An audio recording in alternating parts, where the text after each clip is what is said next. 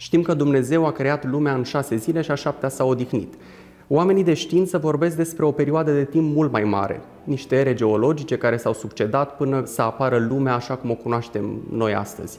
Cum putem împăca zilele creației cu viziunea științifică asupra apariției Universului? Fără să uh, există o contradicție, fără să dezvolte o anumită tensiune cu ceea ce înseamnă o cercetare autentică făcută cu uh, onestitate, Uh, Sfânta Scriptură, da, nu este o carte de știință. Precizia e, nu este de tip științific, este de tip duhovnicesc.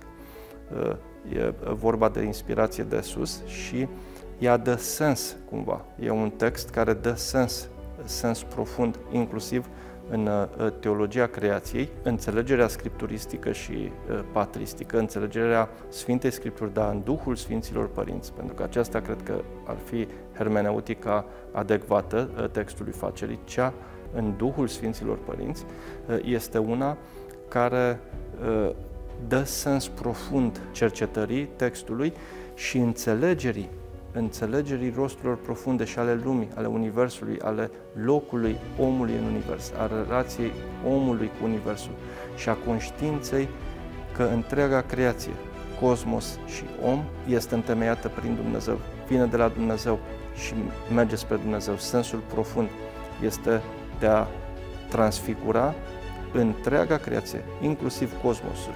Și omul uh, are această menire, cum spune Sfântul Maxim Mărturisitorul, el este un preot al uh, creației, prin viața lui el are menirea de a transfigura nu doar propria existență sau celor din jur, uh, ci întregul mediu întregul univers. Așadar, Scriptura ne spune de ce a fost creată lumea și nu neapărat cum. Asta e treaba științei. E foarte important, într-adevăr, să evităm, poate, o abordare de tip fizicist în care detaliile contează. Detaliile cu privire la cum. Intrarea cumva în tot felul de discuții prin care să vedem mecanismele prin care cum anume a făcut Dumnezeu lumea sau să dăm semnificații dar într-o înțelegere fizicistă de multe ori, și de aici e greșeala, aspectelor relatate în, în referatul facerii, în condițiile în care, practic, vorbim de un simbolism profund uh, și, uh, de alminteri, în întreaga tradiție, gândirea este marcată de uh, uh, simbolism. De, uh, cumva trebuie să vedem dincolo de ceea ce înseamnă un aspect doar fizic. Nu rămânem doar la suprafață.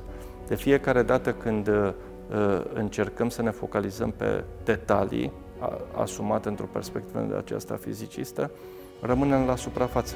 Nu putem merge mai în adânc uh, uh, pentru a vedea cumva rațiunea profundă a, a realității pe care o cercetăm. În plus, cei care elaborează diferite teorii științifice observă lumea cu legile ei naturale de acum și extrapolează aceste legi și atunci, la început, auzeam o comparație extrem de interesantă. Lumea se poate să fi fost ca o bucată de fier incandescent, care atunci se modela foarte ușor, iată, în șase zile, dar dacă cineva care nu știe cum se forjează fierul observă bucata de fier uh, răcit, vede cât este de dur, își închipuie că ne trebuie, iată, ere geologice ca să-l contorsionăm și să-l aducem la forma dorită. Probabil că lumea era incandescentă